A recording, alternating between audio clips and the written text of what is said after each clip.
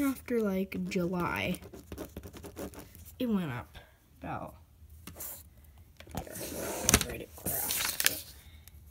went up about like this much. And then in October, when I started using my phone,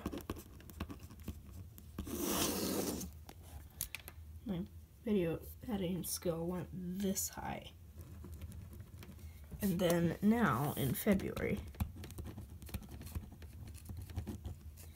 let's call this my phone crash.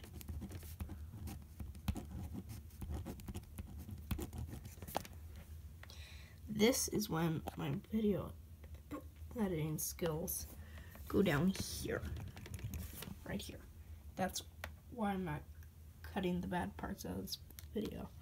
So this is basically my little graph. Okay. So this, if I got an Android, it would go from here.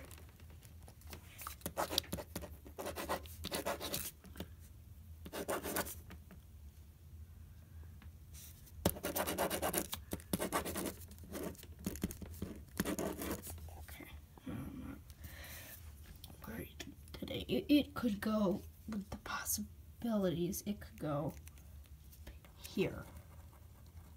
But right now, I'm still right here.